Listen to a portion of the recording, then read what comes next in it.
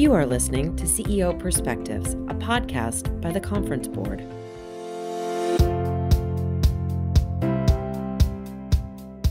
Welcome to this episode of CEO Perspectives, a signature webcast and podcast series by the Conference Board. CEO Perspectives take an objective, nonpartisan look at a range of timely topics that matter most to business leaders. In this series, we'll sit down with thought leaders and do what we do best at the Conference Board provide insights for what's ahead. I'm Steve Odland, the CEO of the Conference Board and the host of this series. And in today's conversation, we're going to discuss the trends on the minds of business leaders and workers alike, and that is hybrid work.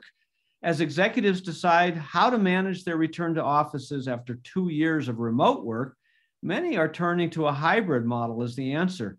But what's the best way to do this? How do you provide flexibility while also maintaining culture in the company? Joining me today is Dr. Rebecca Ray, a leading voice on the workforce and the workplace. She is the leader of the Human Capital Center here at the Conference Board. Rebecca, welcome. Thank you, Steve. It's a pleasure to be with you. So, Rebecca, I think to start, we should probably dial back the clock a couple of years pre COVID. Just describe the pre-pandemic workplace i mean people may not even remember it's been so long ago. What, what were the best practices and the issues then? And now how has the pandemic changed things?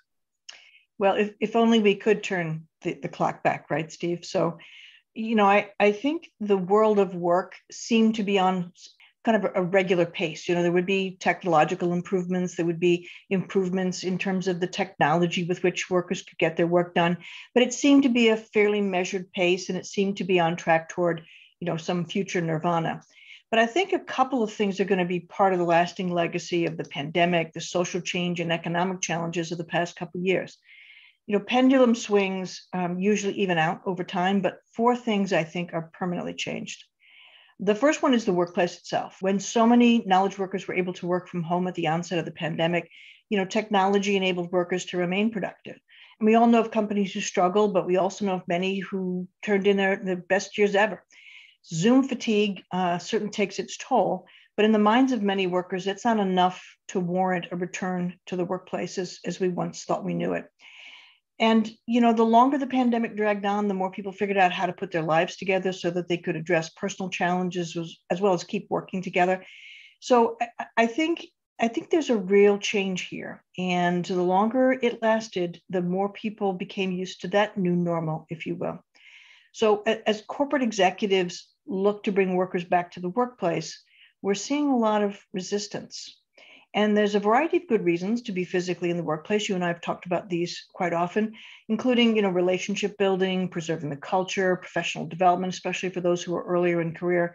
But I think companies very largely miss the mark when it comes to articulating a compelling case for a return to the physical workplace. Yeah. So, you know, when, when we talk about this workplace, I mean, some people laugh because, you know, not everybody can do their work hybrid, right? I mean, you, you can't construct a building, you know, using a, a, a Zoom call.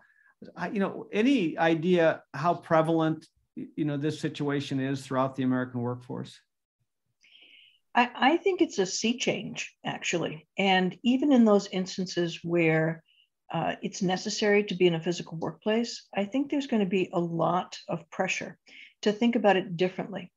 And even in those instances where, let's say, you're on a manufacturing line or you're providing uh, healthcare services or you are serving customers in some way, uh, there's going to be a, a, lot of pressure to have uh, teams take a look at, uh, at the way in which they could still get the work done. You know, I, I recognize there's a critical need to deliver the business results, but organizations are going to need to help their teams feel empowered to make the decisions that enable them to get the maximum efficiency so that they can be agile, so that they can be flexible, so that they can take care of each other. And this may look like staggered or asynchronous schedules. It may look like job sharing. It's certainly going to call for the reclassification of job roles. And as workers find that they can demand these things and have the opportunity to go elsewhere if they don't get them, uh, companies will need to, to start providing those in thoughtful ways or run the risk of losing good talent.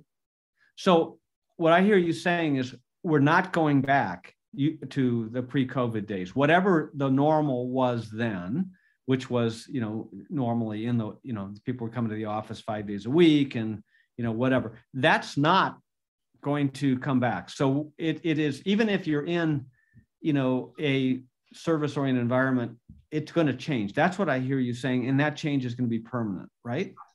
I think so. I think that we're going to be in a hybrid sort of mixed environment for a long time and I think it will probably take some fits and starts, and we won't get everything right, but we'll continue to learn and we'll evolve. But I don't think that the returning to the way things were is is even possible. Much what less hybrid. So, so what does hybrid mean to you? Is, does it mean that everybody kind of does their own thing, or that there are set schedules of, you know, work in the office, work from home? You know, how should employers think about that? So let's let's talk about hybrid just for a moment. I think you know a lot of us use it sort of interchangeably, but I think it's sort of a code word for flexibility. So that means you might have a hybrid environment where people are looking to get a, a series of jobs done. Some might may be remote completely, some in the office completely, some in some kind of a two or three day, sometimes one day uh, approach. But it also means hybrid workers. You may have a variety of types of worker now in the workplace, much more so than before. Many people are reevaluating, rethinking whether or not full time employment in the more traditional sense that we've perhaps uh, thought about in these last few decades. That doesn't work for them. They may shift to part time or gig work, contractor work. They may freelance you may be reliant on an army of volunteers to get your work done uh, from a business perspective sometimes. And so this is going to upend just about everything in human capital because you're going to need to think about well how do you even source for these roles? How do you how do you shift from perhaps a more formal job description into a, description of skills that are needed? How do you contract with others in some way, some form uh, to get that get those um, tasks done? And I, I think it's going to mean that you're going to have to look at performance different, certainly talent acquisition differently. You have to look at development differently, and you're going to have to look at how you uh, how you think about opportunities for people, no matter what way they work and no matter where they work, because that's going to be one of the big challenges for organizations is to make sure that they have a fair and equitable workplace, that people receive the development and promotional opportunities that um, that others get, regardless of how uh, they've they've made arrangements to work. And that's going to take a lot of flexibility. We're used to, I think, saying, well, this is our performance management system, this is our hiring process, this is our compensation schedule. And a lot of that is going to be questioned and upended.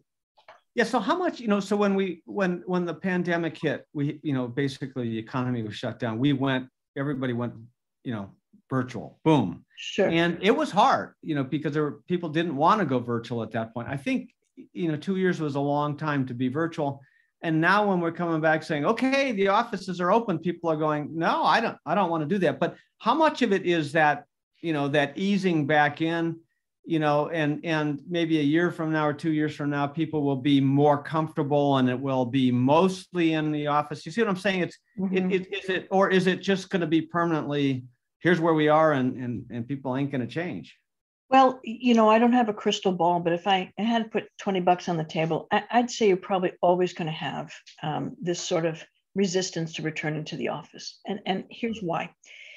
So, in years past, particularly in high demand, uh, top talent roles, particularly in the tech industry, you had companies do a great deal to help um, entice them to come and retain them. And so as you as you see in the tech world, you've got a lot of people who do not want to return. So there's and it depends on which uh, way, particularly in tech and also in finance, what people have chosen to announce. There's a lot of resistance. I don't think that's going to go away. Here's what I do think was going to happen. The next downturn in the economy, when there's no longer the need for as many talented workers, you're going to have people scrambling for the same jobs and they will make the concession to come into work in a perfect in a workplace if they need to Right now, they don't. They can go somewhere else, be paid, you know, an equivalent salary with the flexibility to work from wherever. And th- right now, they're in the driver's seat. But you know, the, I use this pendulum um, analogy often. Things shift, but right now, I think that's what we have. What you're talking about is that we're virtually at full employment. Mm-hmm. Um, and uh, the demand for workers is very high, but particularly on certain skills right. um, that are that are difficult to fill. And so, therefore, this level of flexibility now instead of it being sort of icing on the cake as you were describing with the tech companies think ping pong tables and everybody can wear jeans and t-shirts now is you know that flex that level of flexibility is required. But you you made an interesting comment in there i'm not sure uh, that which you know you might want to just expand upon and that's the fairness because when you start introducing flexibility which is she can do this but she can't you know because flexibility is kind of everybody does different things because you're trying to meet the needs of individuals how can CHROs maintain fairness in the workplace? So i would i would maybe just clarify as i don't i don't mean to to, to indicate that flexibility just means you know it's a come as you are party. I do think that uh, managers and teams in particular need to articulate what does a flexible work policy look like? What are the guidelines for what constitutes good teamwork? How will this team uh, how will this team operate? And in fact that's one of the recipes for success that you see even in those places where more of a physical presence is required. So you know i think it you need to empower teams to be able to be thoughtful about how they're going to deliver the work. And then you have to hold people accountable for addressing those norms or to stepping up uh, to do that. So this is so that's a really good point rebecca because you're not saying everybody's a free for all you're saying bake in flexibility and write the standards such that you can operate a workplace and be fair, but then you, you make those standards flexible enough to meet the needs. That's what you're saying. I think so, because here's here's what happens. What we know from our research and that of others is that women and people of color in particular are not as interested in returning back to the office full time. Now there are a variety of reasons for that. There's enough in the literature around you know, the, the pressures of childcare. We haven't cracked the code on that yet. And so, in many cases, there are people who would welcome maybe a return to the office if there was childcare offered on site or something that would support them. There are also, um, you know, many instances. A great article in uh, Harvard that just came out yesterday uh, with Joan Williams talking about the microaggressions that um, people of color often suffer.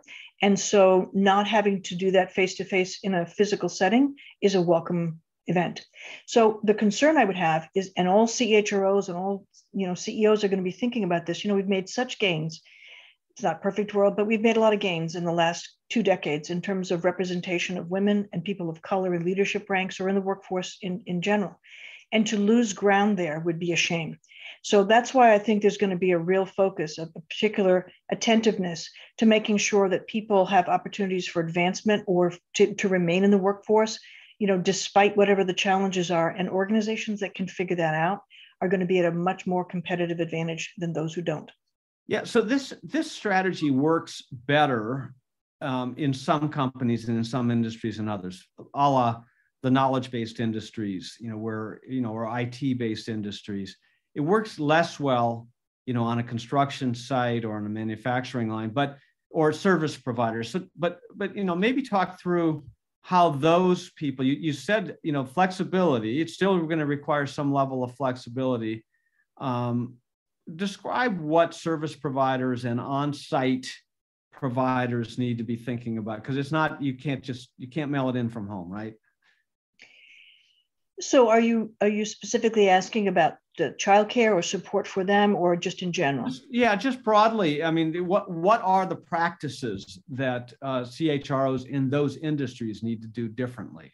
Sure. So I've spoken to a few uh, who are trying to address this particular challenge, and what they're trying to do is, in some cases, what tech companies did to lure uh, top talent in by providing almost a home-like setting. If you've ever, you know, visited some of the tech headquarters, you know, you, you can see how it's set up and there's a lot to support um, really working and almost living there in terms of the, the kinds of things that they offer to support employees. Many people who are in manufacturing environments or where there is a point of service or point of sale that doesn't make knowledge working, you know, make sense. These are folks who are going to try to think about how do you make the burden less onerous for people. So that might look like childcare, that might look like on-site, you know, healthcare, or it might look like on-site dry cleaning or hair, you know, those kinds of things that allow people to have less time that they have to be doing other things other than either at home or at work. And also, they're probably going to have to rethink the way in which they put together, let's say, manufacturing shifts that might look like it might look like staggered shifts. It might look like job sharing. It might also look like having that very basic team conversation around why they need to get uh, certain procedures in place so that they can deliver you know the whatever the, the business metrics are but i think it starts with being honest with a group of adults in that team and saying these are the things we need to accomplish how best can we do that given the makeup of this team and the challenges that they have i think it comes down to the same kinds of conversations no matter what the setting we're talking with Dr. Rebecca Ray about uh, the new hybrid workplace. We're going to take a short break and we'll be right back with more. As war rages in Ukraine, the Conference Board is closely monitoring the situation and producing timely and relevant content on a daily basis that will help the business community navigate this global geopolitical unrest. What will the impact be on oil prices, food prices, our supply chain, and what about cybersecurity? How will this conflict impact the way your organization does business around the world? And how will you communicate this crisis to customers and employees? We're gathering the very latest content on our website. Just head to conference-board.org and find trusted insights to help you and your team lead with confidence. Welcome back to CEO Perspectives. I'm your host, Steve Odland, the CEO of the Conference Board, and we're talking today with Dr. Rebecca Ray about the flexible workplace. Rebecca is the head of the Human Capital Center of the Conference Board. So, Rebecca, in this new world, how much flexibility do people really want, workers, employees really want?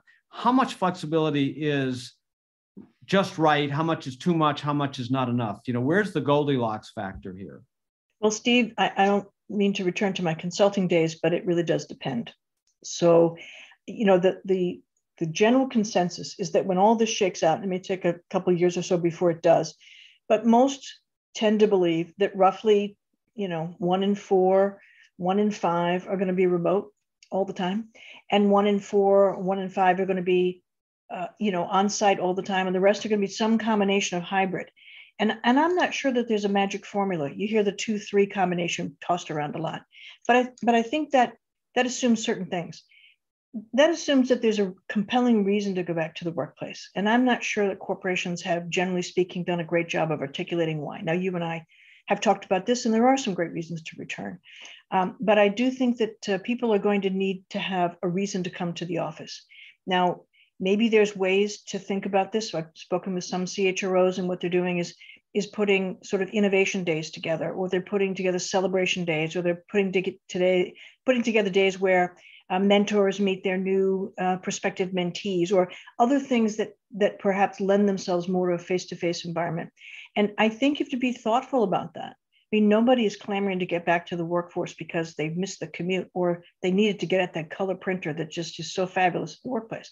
That's you've got to have other reasons and there are many. So for example you know you think about culture I think there are reasons why you'd want to have people back in the office, particularly people who are early in career and new to the company. You know, they need to have an understanding of what is this company about? What is its mission? Who are these people? And there's a lot to be said for, you know, we're human beings, we're social animals, and there's a lot to be said for seeing people and getting to know them because it's so easy sometimes to be misinterpreted in an email or even in a disintermediated video call and you know, if you trust someone because you know them a little bit better, you tend to give them the benefit of the doubt and not think that you know there's some unintended intent that was sent. Yeah, and you know, 90% of communication is nonverbal. So, you know, you, you really, you really do sometimes need to see that. You know, when you talk to CHROs and CEOs, they more than uh, the staff members think that the in-person experience is important. And when you talk to them, they talk about you know, trying to maintain uh, the culture, as you mentioned, but uh, innovation and teamwork and, and all of that. And so, I, so when you when you're talking about how do you present this and make your case, you know, you really do have to get into these areas, don't you? And and really describe the benefits not only to the company but also to, to the, the individual. That's right. I mean, if you remember the old days, um, which you know seems a lifetime ago, but in the old days we used to have an offsite once in a while and we'd plan for it we'd structure it. We knew who was speaking we knew what we hoped to accomplish we knew what the takeaways were supposed to be and we knew how we would advance the conversation around how the company continues to thrive. I think we need to think about returning to the office in somewhat the same way. Why are we returning? You know are there are there landmark events that we could say to people we're going to have um, we're going to have a, a, time set aside for all of us to go through the customer service uh, responses or the feedback from our customers. And we're going to brainstorm around what could make our products more compelling or more innovative.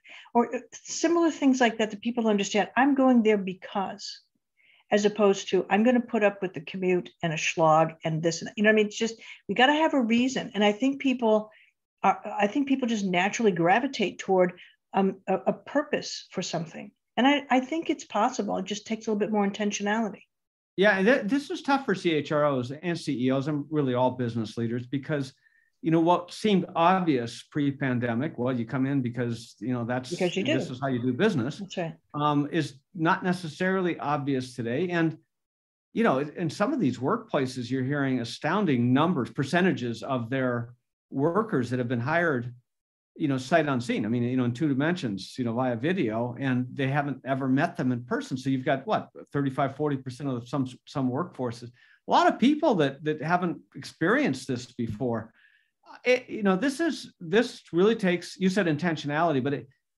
and it, it's a great word. I mean, it it really does take thinking through in a different context to the way that we've always done business. That's right, and I, and I think leaders need support here.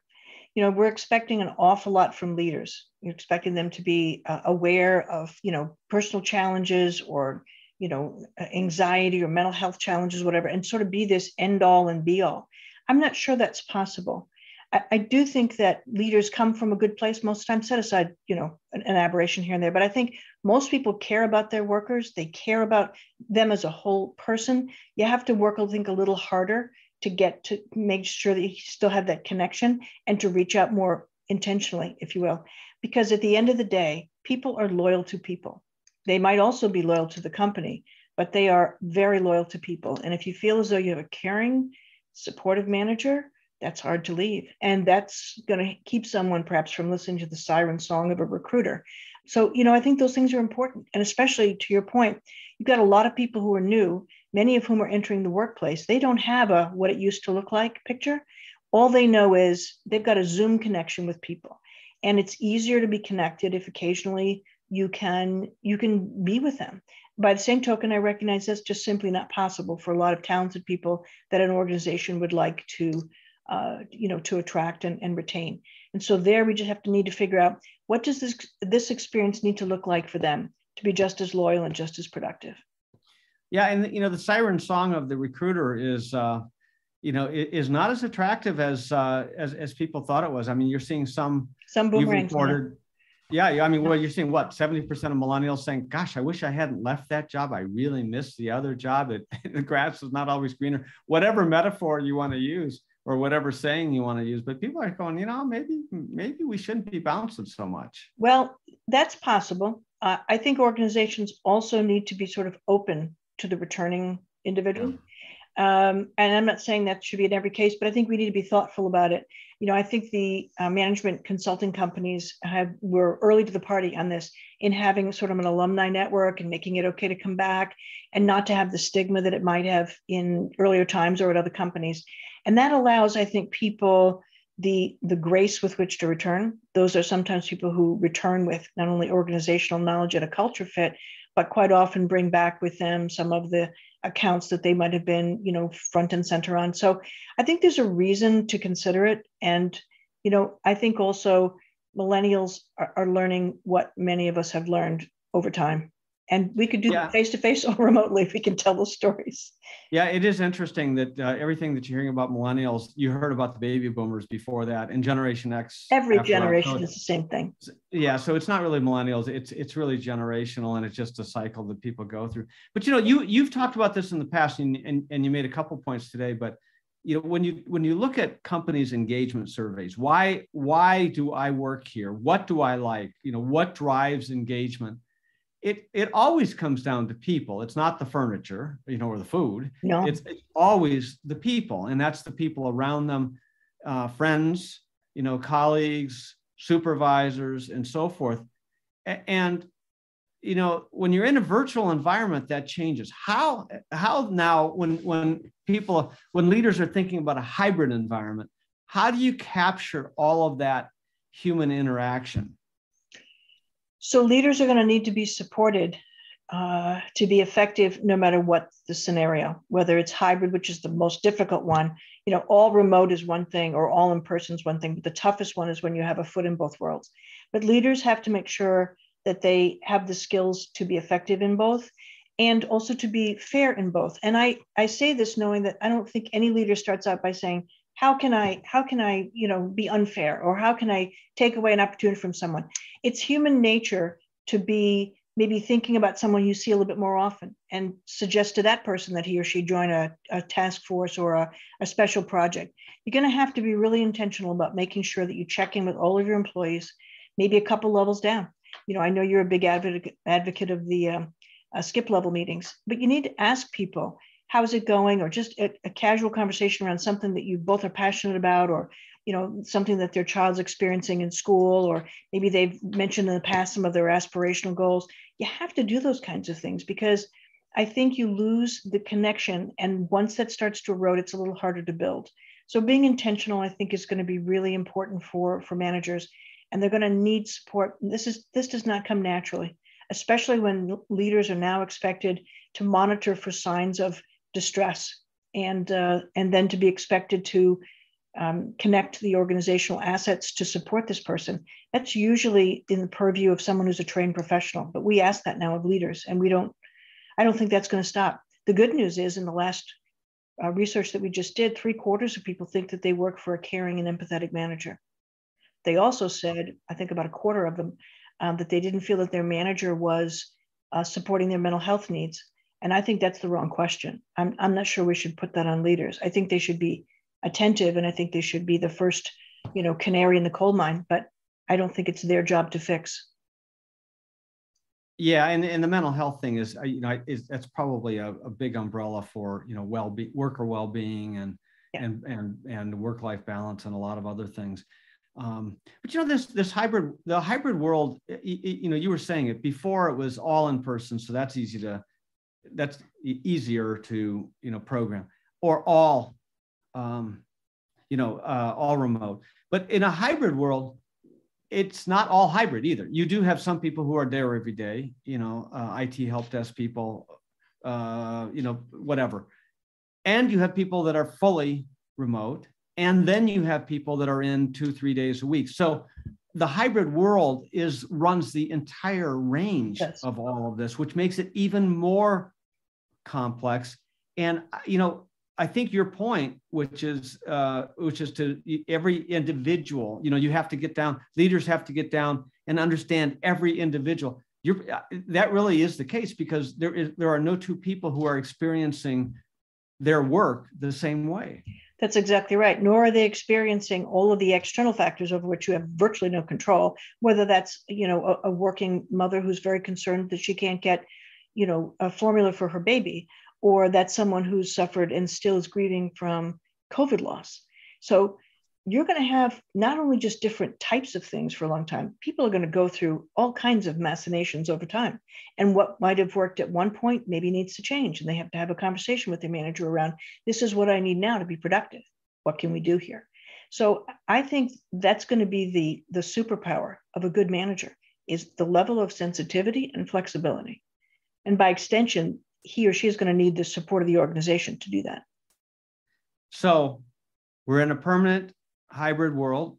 I think so. Permanent in the sense that it and and it will morph over time and change, but that's going to require leadership attentiveness and empathy like never before. And that's going to have to translate into flexibility and that flexibility is going to need to be supported by CHROs and CEOs. It's going to be need policies around that, you know, and, and guidelines around that. So, you know, the complexity of, of the work world has has changed forever and is going to require a lot of attention over the next few years. I think that's right, Steve. And I, I do think that some of this will get codified over time. But for a long time here, we're going to be, you know, sailing the ship before we really have it all charted out. So, so I think the watchword here is, you know, if people can be other centered enough to allow space for people, and if they can be flexible, um, and still keep their eye on what needs to get done because that's the mission of the company, yeah. be all right. Yeah. Dr. Rebecca Ray, thanks for being with us. a pleasure, Steve. Thank you. And thanks to all of you for listening in to CEO Perspectives. Every week, I'll be joined by a prominent thought leader to provide insights on the issues of our time. We'll cover leading topics in geopolitics, economics, human capital, public policy, environmental social governance, marketing communications, and more. Please share CEO perspectives with everybody you know. I know that they're going to want to listen. I'm Steve Odland, and this series is brought to you by the Conference Board. You've been listening to a podcast from the Conference Board, your source of trusted insights for what's ahead. For the latest insights to help guide your business through this time of geopolitical unrest, we have daily and relevant updates on our website at conference board.org.